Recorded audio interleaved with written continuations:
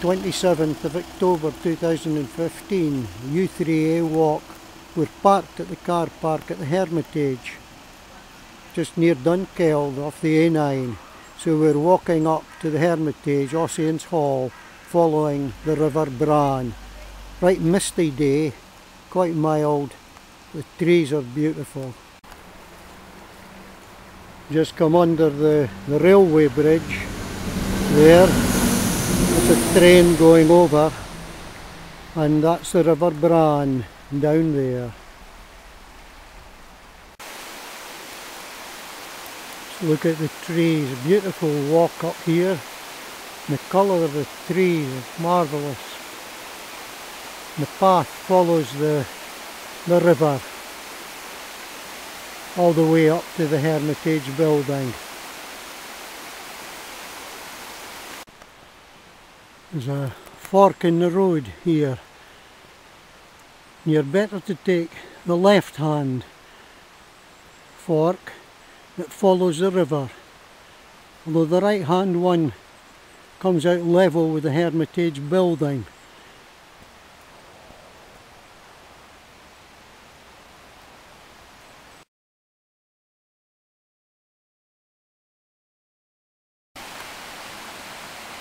The woods are just a massive colour. Beautiful. That's the, the Bran down there again. Beautiful colours. It's a pity there hadn't been a, a blink of sunshine. It's quite, quite misty. We're approaching the Hermitage now. Widens out just up there.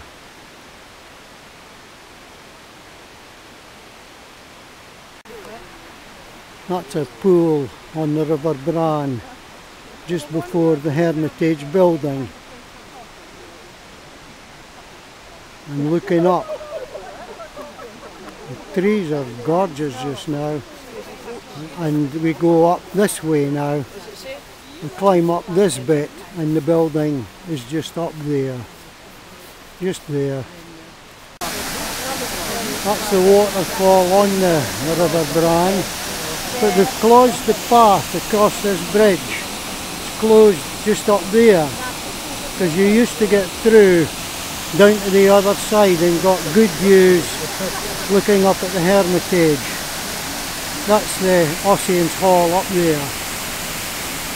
That's it. So we'll go up there and get another shot of the river.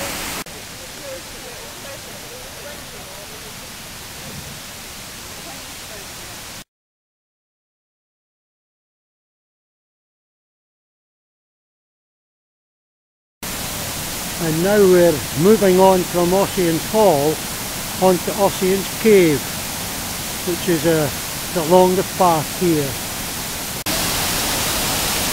That's another shot looking back and the path over the bridge is closed at the moment.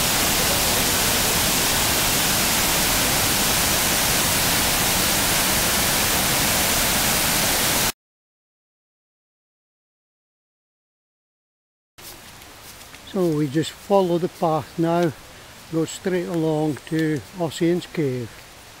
Lovely walk along here. That's Ossian's Cave there, covered in ferns. Quite difficult the spot, you could walk straight past it if you weren't paying attention there, but that's the cave. See some of our members are in it. It's just by the side of the path running up the River Bran. That's the other side of the cave there. Goes through to that window that was in the last shot. But we now follow the path along by the river a bit. And we're heading for the Rumbling Bridge. The path leaves the river for a, for a bit. it's so humid today quite misty and damp, humid. The scenery is beautiful.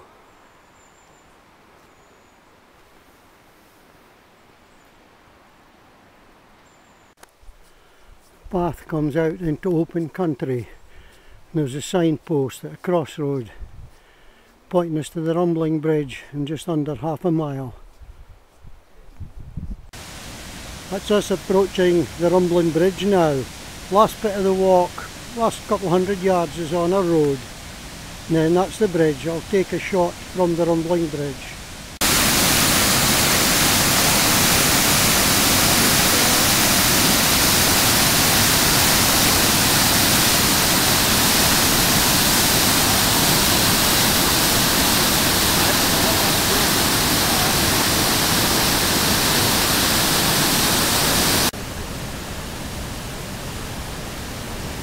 Quite height up above this side, the other side of the waterfall.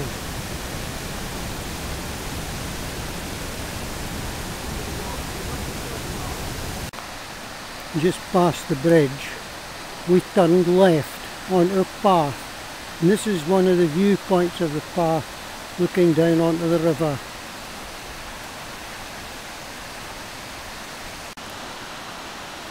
That's another viewpoint on the path going down the other side of the, the river.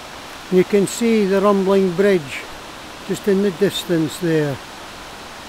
Some beautiful views with lovely colour of the trees.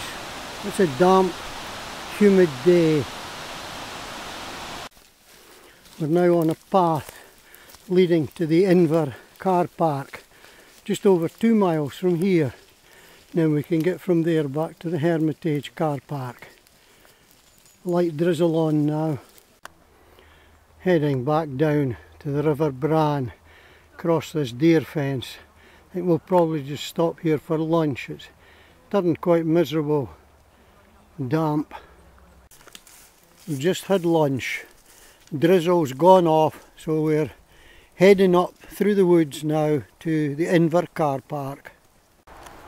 That's us at the Inver car park now. Quite a nice walk down to the car park and now we've got to find our way from here to the uh, the car park, the main car park for the Hermitage, just off the A9.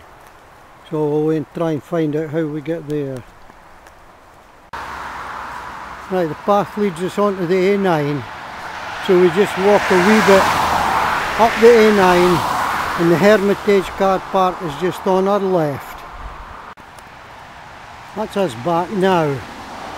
Just over four miles, we cut the, the walk short. Just coming back down to the River Bran because the weather weather was a bit doubtful. But a good, just over four miles. And thankfully the rain stayed off. But that's us back at the van now.